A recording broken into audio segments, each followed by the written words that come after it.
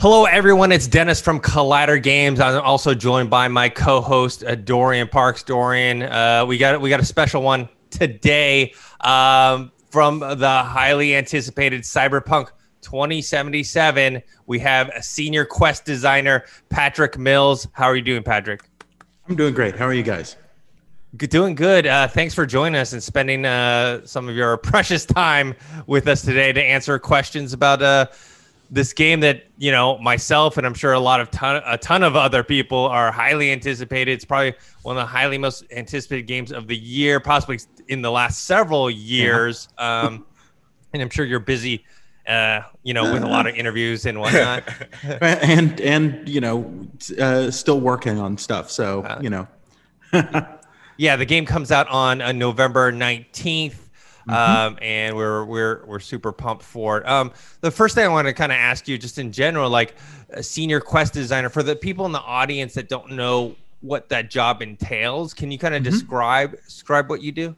So uh, the job of a quest designer is um, uh, to come up with the exp- the experience, particularly the narrative experience that the player encounters. So that means you come up with the scenario, the stories, like what are the characters going to do? What is the player going to do as they move through the story?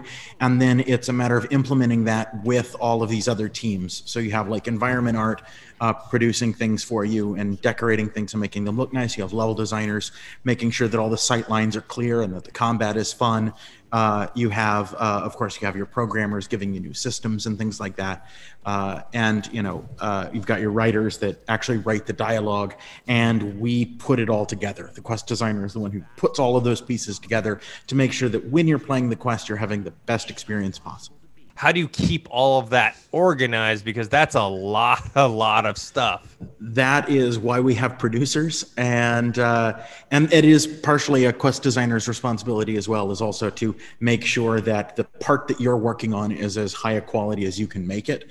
Um, and working with all of those teams and managing your time and um, uh, managing you know when you need to get new things from other teams uh, making sure that those can be done, and then you have producers on top of that, making sure that everything runs smoothly. So.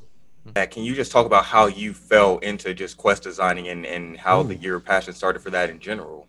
Well, you know, I've I've been working on you know, I've been making games since I was a kid, and I think a lot of kids do. You know, um, I would we traveled a lot as uh, when I was a kid, and I would come up with uh, little stories that I'd just tell my brother, and then I'd ask him, "Okay, now what do you want to do next?" I mean, they weren't, they didn't have rules, they didn't have anything. They were just little imagination games. Um, I, I, mean, that was probably the start of it. But you know, more recently, I worked uh, in the '90s. I actually worked on, um, I did mods for first-person shooter games, and uh, from there, wound up working at. Um, uh, wound up working at another studio um, uh, being as a designer, and uh, and that brought me to here. And uh, so yeah, that's that's that's the path. That's the very short version. That's the very short version. And then with the whole idea of a- adapting uh, Cyberpunk 2020, the tabletop game created by mm-hmm. Mike Pondsmith, how did that the inception of the, the the idea to adapt it into a video game begin? Well, you know, I wasn't actually at this studio oh. when that happened, but um, I do know that a lot of the people um, uh, who were involved in that played Cyberpunk 2020 back in the day. Um, you know, we're in Poland, and uh, a lot of things didn't get localized into Polish. Um, but Cyberpunk 2020, along with a lot of the other source materials, I think this is yeah, this is actually an English version that we've got here, but we have Polish versions floating around that are you know 20 years old um, uh, or oh no they're not 20 years old they're 30 years old. I feel very oh my i'm but uh, um, uh, it was localized into polish. And uh, so a lot of people here played it. I actually have a, um, an anecdote uh, when i first moved here um, I was setting up a bank account and I was talking to this banker who was helping me set up the account. And he asked me, Where do you work? And I said, uh, CD Projekt. And he, I don't know what that is. And I repeated it because I remembered I'm saying it wrong. It's CD Projekt. And uh, and then he he said, Oh, they make the um, they make the Witcher games, yeah? And I said, Yeah. And he goes, Yeah, I never played them. I didn't really like those books. um, what are you guys working on now? And I said, uh, Cyberpunk, uh, Cyberpunk 2077. And his eyes got wide, and he says, uh, and he says, he says, you know, I used to play that all the time when I was a kid, and he got really excited. And seeing this guy, you know, this banker who the whole time was just flat faced, you know, expressionless, suddenly get really excited. So I think the game's had an impact here, and so that's part of it. And then there's another crew of people that have come in afterwards um, who are people like me who played this when they were younger or even just had people that they knew who played it or older siblings that played it and uh, and have been drawn to the cyberpunk aesthetic through films and uh, and uh, TV shows and and uh, and anime and things like that and are just you know really excited to work on something like. Yeah, and and Patrick, I did want to ask. So with mm-hmm. this, with this in particular, you kind of built you you you've been working on this project for a couple years now. So what has it been like uh-huh. uh, with adapting source material? Usually the the original yeah. creators aren't usually involved. So what has it been like to actually work with the creator and and kind of make sure like you're you're not you're doing it justice? Yeah, it's been it's been really exciting because we of course have worked with Mike Pondsmith, the original creator, and I've been lucky enough to be one of the people who works directly with Mike Pondsmith. And it's been really fun and really rewarding to, you know, be able to work on stuff that's new and then take it to him and say, well, what do you think about this? And he says, oh, that's really cool. Um, uh, that's really cool. I really like that idea. And of course, they're working on um, they're working on the new pen and paper version right now, uh, Cyberpunk Red, which I think is coming out around the same time as us. I don't know the exact date. Um, uh, and they'll incorporate some of our ideas into theirs. And then we'll take some of their ideas and incorporate them into ours so that we have a, a continuity you know um, we really wanted cyberpunk 2077 um, you can go into it not knowing anything about cyberpunk 2020 you know you can go in and you can play it and that's great we've built it to work that way. But if you do know about Cyberpunk 2020 and sort of the the lore and all the tidbits and stuff, you can see that stuff in it, and so you'll be rewarded if you bring that extra information into the game. And it's it's really fun to be able to put that stuff in. Nice. And then you know, with The Witcher being you know established huge franchise, but it's it's in mm-hmm. the third person perspective, and you guys are mm-hmm. doing first person perspective. What do you think that brings? into this game, especially a, a game of this scale? When you are in Night City and you're moving around Night City in first person, it's really, really exciting. And it's something that I've not seen before like this in a game. I've not ever really seen this before. And I think that other people are going to feel the same way when they finally see it. And it really does bring a level of immersion. That, I'll be honest. I'll be honest. I was one of those skeptics you know, I was one of those skeptics when we we announced that we were doing the first person internally. I was thinking, oh no, you know, I really I really wish that we were doing third person because it's something we know how to do, and uh, and and and I and I, and I could picture it in my head. I could picture it's Witcher three and then is with guns now. And so we'll we'll do that. But we didn't do that. We didn't do the easy thing. We never do the easy thing here. And we went we developed we, you know we worked on all of this stuff really really hard. And I really think that people when they play it, they'll they'll understand why it needs to be first person when they play it, and it's yeah, it's it's really exciting to just walk around the city and look around, and it feels good. It feels good.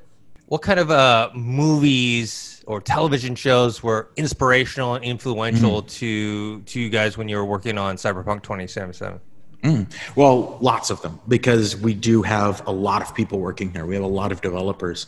Um, there's actually you know i can tell you for example i can tell you oh well i know that akira was was very influential for a lot of people here. Um, but there are things that i don't even know right? Like i saw someone on twitter the other day point out a screenshot that we had put up of walking down into afterlife.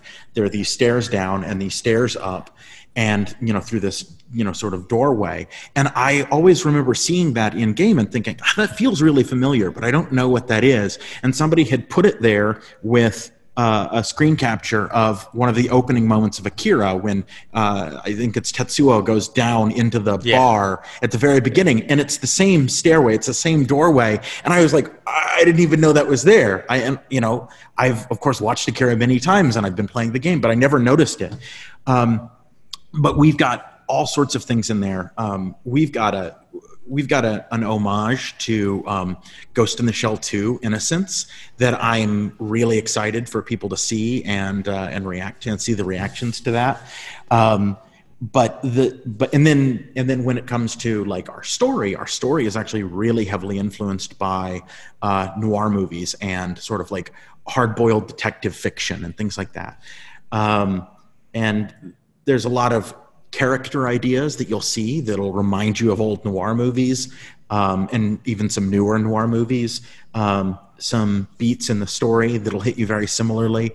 Um, so yeah, we're all over the place in terms of our influences, but I think that we've managed to make it all gel together in a way that's cool and fresh, and pretty exciting. I, am excited to see what people think.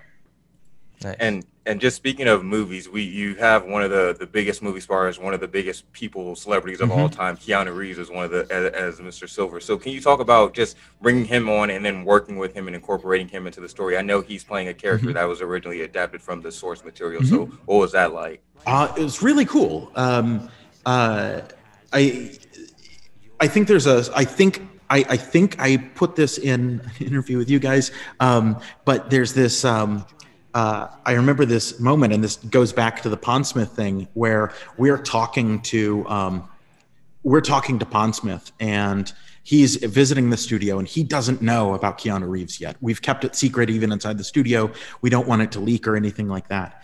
And he's sitting with me, and we're talking, and I know that he's about to go to the character art team and be shown the first images of Keanu Reeves as Johnny Silverhand, and and he says, um, he says, well, as long as you didn't make him blonde, and he shouldn't have a beard. And I thought, oh no, oh no, oh no, this is awful, this is terrible. And so he goes and he leaves the room, and he does his thing, and we come back together later. And he sits down with me. He says, well. I still think he should be blonde, but if you can get Keanu Reeves, you should get Keanu Reeves. And Keanu, like the, the character of Johnny Silverhand, actually wound up being a really good fit for Keanu. Um, uh, he's able to do a lot with very little. He's able to get that. This Johnny's an angry person. He's a really angry person, and when Keanu gets angry, he can really show it. He can really show it. He, you very often don't see it in his movies because he, he's you know he's well known for being kind of the the mellow guy. You get him for the mellow roles. Um, but when he gets angry, and you can see it sometimes, like in John Wick, for example. Um, but in this game, you're going to get to see Johnny angry. You're going to get to see him pissed off, animated, and yeah, it's, it's been it's been really great working with him, and uh, and I think he's done a great job. Nice. Awesome. Um, with you know, you talked about uh, you know, with voice actors and mm-hmm. you said dialogue, like how many in a game this size, how many voice actors were, were being used and how much how many pages of dialogue did you guys did you guys have to write? Well, record. In terms of how many actors we have, I'm not sure. It's a lot. Um, uh, all of our main characters uh, to my knowledge, almost all of our main characters are uh, unique voice actors, and then we have voice actors who provide uh, background roles as well and things like that.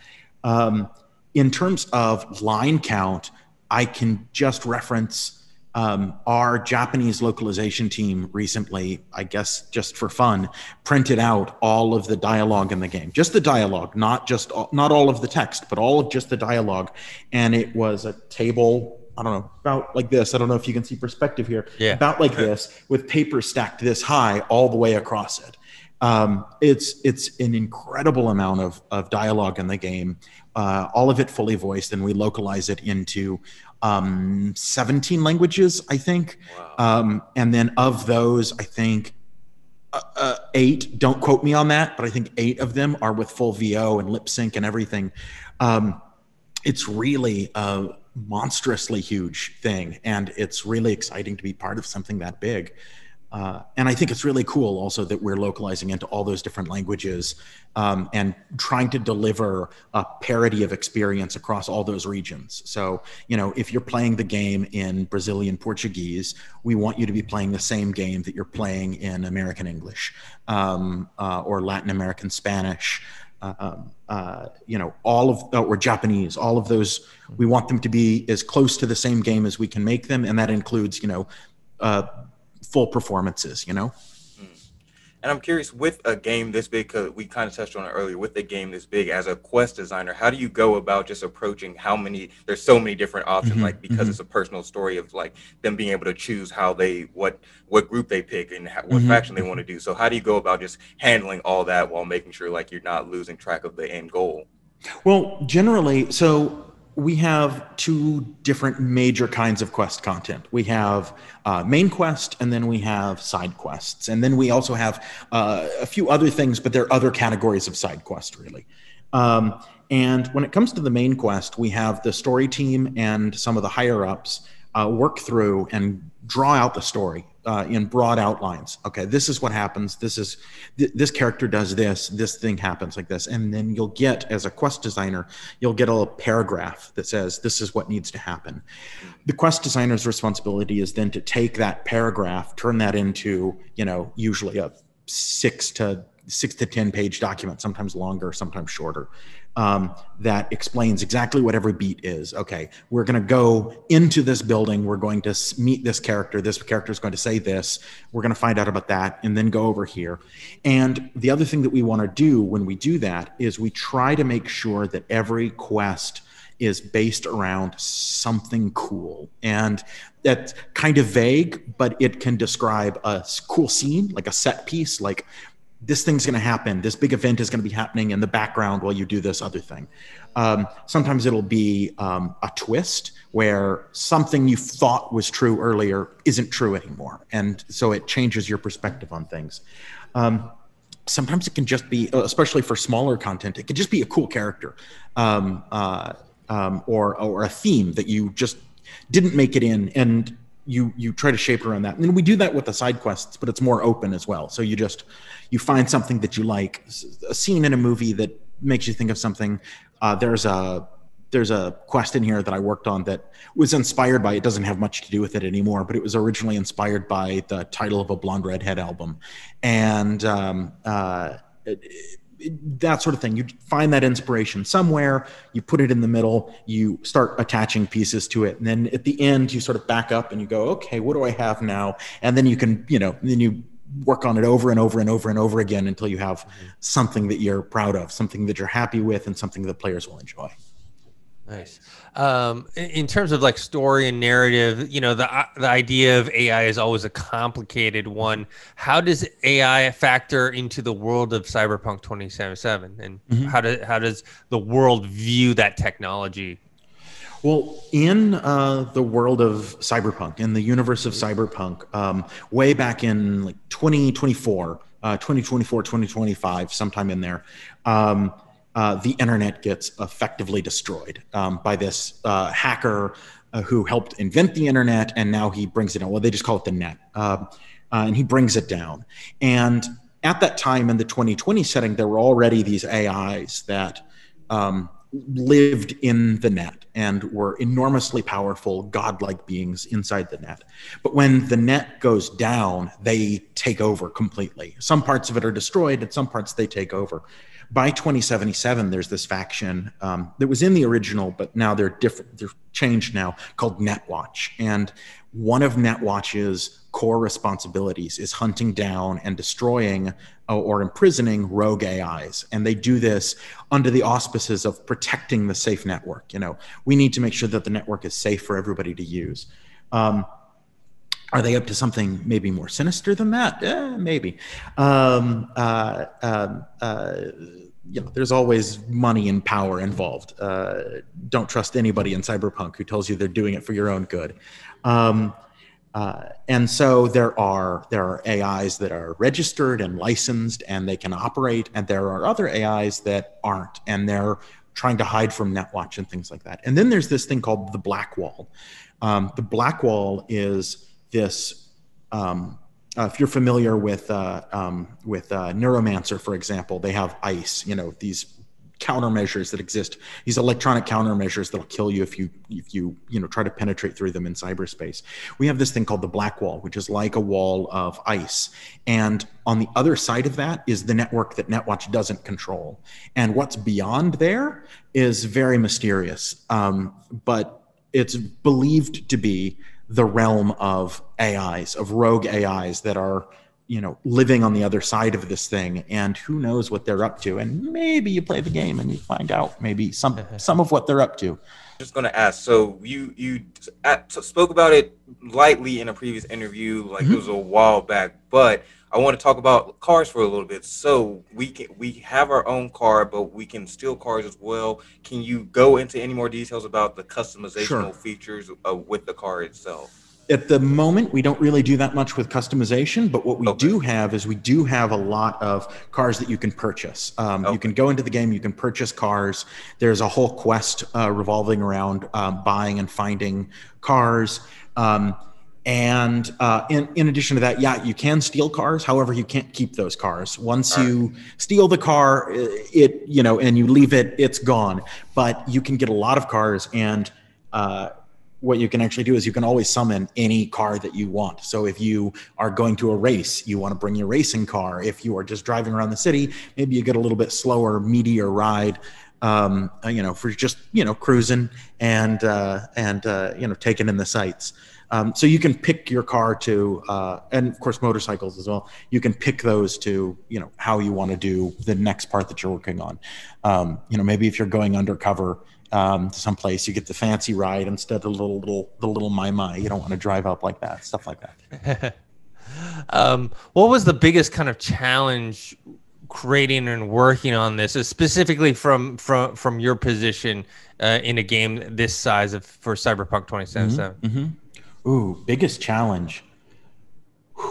I think I think the thing that I found most rewarding is touching on something I said earlier, which is taking this franchise from the 80s and connecting it to not not just 2077 because 2077 is a fictional place but taking that stuff from 1988 and drawing it forward to now and connecting it with things that are happening now and in in by doing so being able to go back to that original material and point at the things that it did really well in the first place. You know, you can say, look, we thought that this was very silly. We thought that this was very silly, and it is. It is silly. It's it's it's silly in a, in a good way, but it's it's sometimes it's very silly. It is a franchise that knows how to be funny, um, uh, and it knows that it's like okay to make jokes. Um, but at the same time, there's stuff in there that's really, really, really good.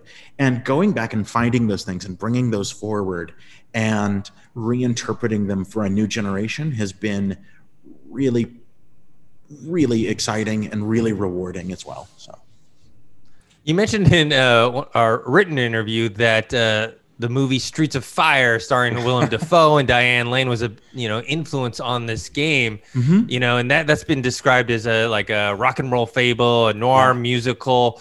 Are there any kind of uh, music oriented moments like that in this game? Certainly. Um, uh, uh, there are music is a big part of the game. Uh, of course, we have uh, Refused acting as um, they're playing the part of uh, Samurai, this legendary rock band. You're going to get to see some of that. We've got a really cool radio in the game where you can flip through the stations and hear it and all of that music is original all of that music is produced just for this game and it's good stuff um, uh, I, I, remember thinking when I first heard, oh, we're going to just pay for our own music instead of licensing. I'm like, ah, whatever. It's actually really good. It's really good. I'm not kidding.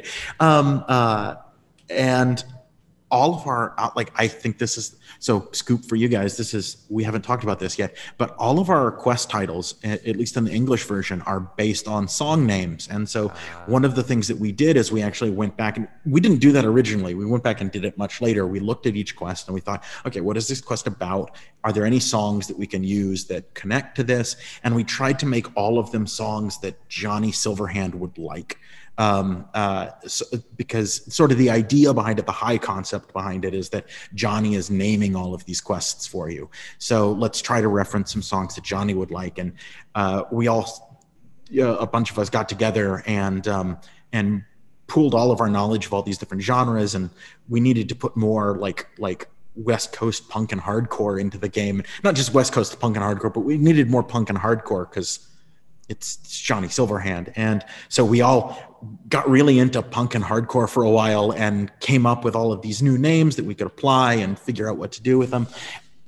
And I think that's really cool. And so, yeah, as for Streets of Fire, you know, one of the things that Pondsmith said was, um, was true about cyberpunk is that the core of cyberpunk uh, is uh, teenagers kissing in the rain in front of a burning warehouse right just things are on fire around them everything's falling apart but they have found this connection and this moment of passion uh, and excitement and and uh, uh, and and I, I think that we have that in the game. Uh, I, I am I'm, I'm excited to see what people think. Uh, um, but it's definitely an inspiration. When, when you're talking about side quests in, in general, like how do you decide the balance of side quests that are maybe have nothing to do with the main storyline and mm-hmm. then the ones that kind of connect with what your main character's drive or mm-hmm, purpose mm-hmm. is? all of our side quests need to connect to the character oh. and who they are and their role in the world. Um, and quests that don't meet that criteria usually don't make it out of the first round. Um, uh, if there's a quest, um, and you know we did this on Witcher three as well, so I can use an example from from there. But you know you you have a quest and you say, well, okay, Geralt is going to investigate uh, is going to investigate a murder, and then someone says, why would why would he investigate this murder? And and then you go, oh yeah actually I, I have no idea why he'd investigate this murder. Quest is out you know? Um, we did a similar process through this one. So we we come up with huge tons and tons of pitches of just like v does this um, uh, v encounters a character who does this uh, or, or wants this. And then we find out that it's different. Things like that. Um, and what you can do though sometimes is if you can't find that connection that like why is this character doing this what you can do is you can go in and you can either um, you, you, have to come up with a, a, reason for the character to do that. Um, but you can also find themes that aren't present in the main story that you want to bring out that you still want to bring to the table but they're just not in the main story um, and you can bring those themes and you can put those into the quests uh, the side quests especially and build things around those. Or um, something that often happen that sometimes happens with uh, side quests as well is that there will be a character that's part of the main storyline, and after changes to the main storyline, that character isn't in the main storyline anymore. So you take some of the ideas that you had for them, you craft a new quest for them. Because by this time we're in love with the character, right? You know, we know the character, we want to put this character in the game, and so you'll find something for that character to do. Um, you mentioned that uh, Syd Mead's work, especially uh, Blade. Runner, influenced the aesthetic of the game, but he also has a, a, lot of other things, design work that he's done before. What other work that he did kind of uh, also influenced the game?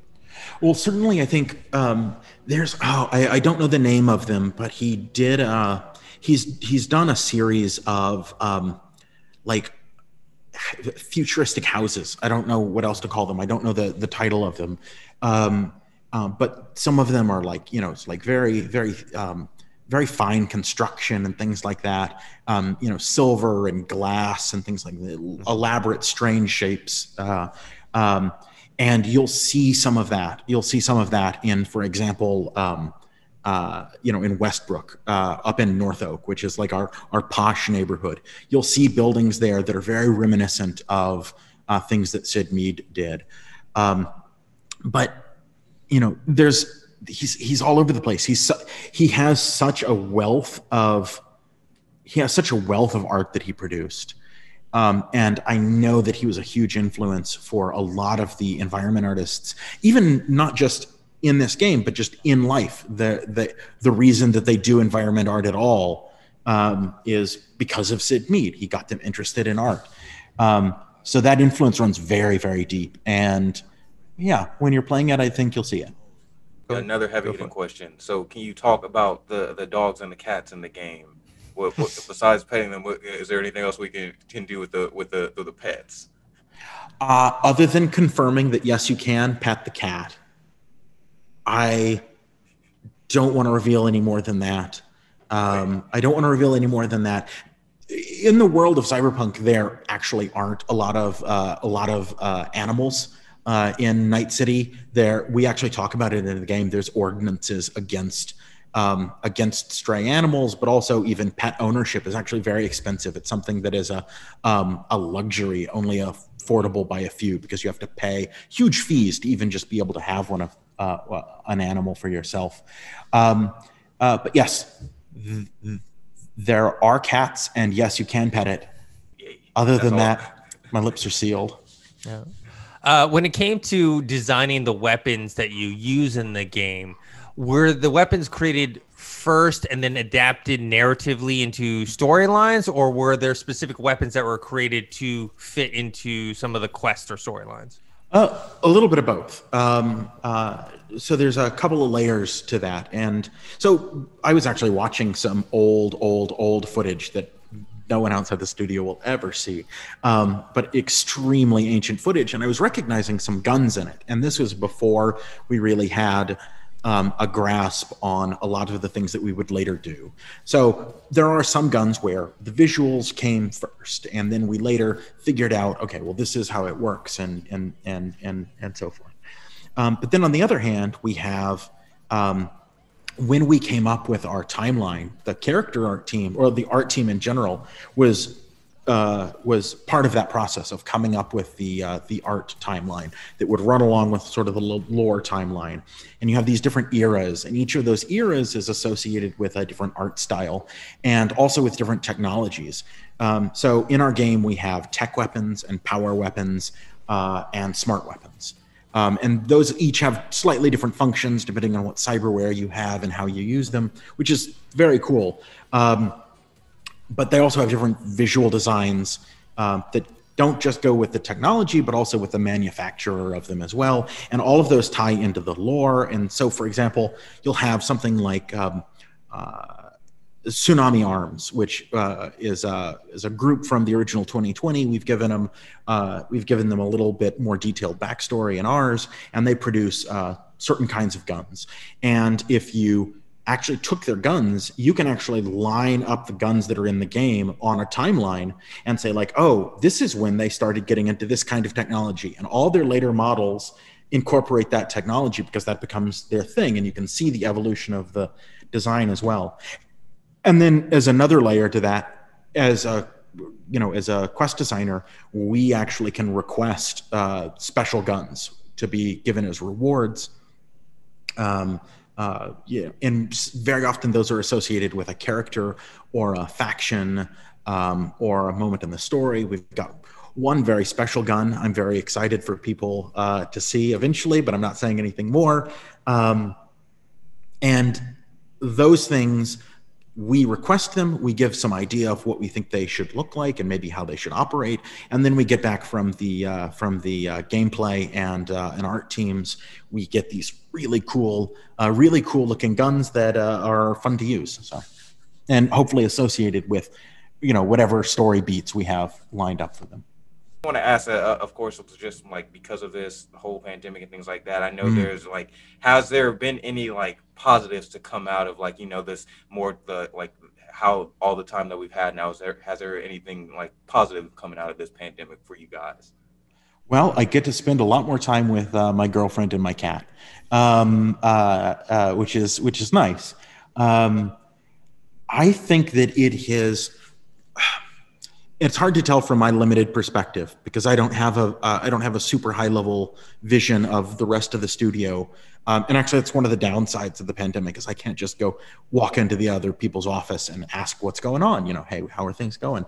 But I think for me personally, um, working from home has helped helped me figure out, uh, and and I think has helped us collectively uh, figure out what like what's important in a pipeline and how to run a pipeline. I know personally have the way that I would operate in the office um, for getting things done, uh, especially when I need to work with other teams, is I get up, I walk over, and I talk to the person, and I find out when's it going to come, what do they need from me, here's what I need from you, etc. And doing that all electronically has been it's different. I've had to learn new skills, and I think everyone has had to learn some new skills through this process. And you know, when hopefully things start reopening uh, and we can all come back to the office, uh, those are skills that we'll be able to use to become even more efficient and better at our jobs. So that's my hope. That's my hope. Uh, uh and you know, hope is hope is important in 2020. So. Absolutely, absolutely yeah. is. Hey, I'm sure you've been pretty busy. You haven't been able to do uh, much extracurricular activities, but you know, for us at, at home that are stuck at home or working at home, uh, video games is like a mm. big outlet now, especially you know you can't go anywhere, uh, and, and, how big of importance it is. And I'm wondering, like you know, when this game comes out, I think lots of people will be very appreciative to have this as something they can kind of go into yeah. to take their mind off of, uh, you know, as fantastical and uh, as it is to take their mind off of the real the real world for yeah. for a few hours a day. Yeah, and I am really hoping it does that for people. It's it's it's a little bit like, if we can be honest, it's a little bit ironic, you know, that that um, we're escaping from our real life cyberpunk dystopia by playing this other fantastic cyberpunk dystopia where it's pretty similar, except uh, except you're a you know you're a, a mercenary on the mean streets, which I suppose is some sort of escape. Um, uh, uh, so, so, yeah, but I, I, mean, I know exactly where you're coming from because you know you can't go anywhere. Um, you can't go anywhere. You, you, can't can't go to the movies. Can't go to the movies. You can't go out to dinner. You can't do the things that you normally do. You can't go hang out with your friends. So I think video games have created that space for people. Um, and that space has always been there, but more and more people are spending more and more time in that space. And certainly good for the industry. Certainly good for the craft um, because there's going to be a whole new generation of people that have, you know, that are getting into this now, and then they become developers later, and then they make the next generation of even better, better stuff. Um, so yeah, yeah, um, it's cool. It's cool, and I, I, I really, I really am excited uh, for people to play it. So my last question would be this is just for the future down the road because you talked about and what I've seen thus far and all the gameplay and everything, it does feel mm-hmm. like an immersive experience. It does feel like this futuristic thing. I would love in the future, hopefully, maybe one day we can get a cyberpunk VR game. Like I don't know if y'all are working cool. on that, but, but yeah, just I'm just throwing that, that out cool. there. Like if y'all could work on that in the future because I, I think I think we we need someone to escape to. We can put it on like a little Oasis or something like that. I, I, I would love a cyberpunk. Hey, I would love to work on that too. I would love to work on that too. That would be really cool. And then my last question, it just it just kind of feels like a, just from an educational side of things, it, it feels like a, a, a, quest designer essentially is like a, the TV equivalent of like almost a showrunner in a way of mm-hmm. like having mm-hmm. to put everything together. Was is that how would you would describe it in a way? I think that that is accurate. I've never been a showrunner. I don't know any showrunners, but from the job description I hear yeah. about a showrunner, it's very similar. Like I don't, I'm not the writer. Uh, sometimes I write, sometimes I don't. Um, uh, sometimes I just give notes and I say, eh, he says this, he says this. Sometimes I do the whole thing. Um, uh, I don't dress, I don't decorate the sets myself, though sometimes I'll, you know, take care of this thing over here because I want something very specific. Um, it's it's about putting together other people's stuff and making sure that it all gels well and that you're hitting the right themes, you're hitting the right notes, you're hitting uh, the right character beats uh, to get through. And um, I think the only difference is is that generally I think showrunners take over, you know, at least a full season of TV, whereas I am in control of a handful of quests, and I have to work with the other quest designers to make sure that all of our quests are in sync. And we also have a quest director who's who's also responsible for that by playing all the quests constantly and saying, okay, well this needs to this needs to you need to work on this, you need to work on this. Uh, this is really good. I'm going to put this over here. Yeah. So. Yeah. Cool. All right. Well, thanks so much for your time, Patrick. Yeah, uh, is there anything else that you want the audience to know about Cyberpunk 2077 before it comes out? Oh well, uh, um, yeah, I mean, like I, I, I, I just I'm excited to see what people think. Like that's where I'm at. Like I really want to see what people think because I look at all the I look at all the expectations that people have and people have expectations that are over there and over here and nobody can agree on what the game like really is. You know we, we've put the marketing out there. We've tried to give an idea of what you'll be doing in the game and what the story is about and and some of the things.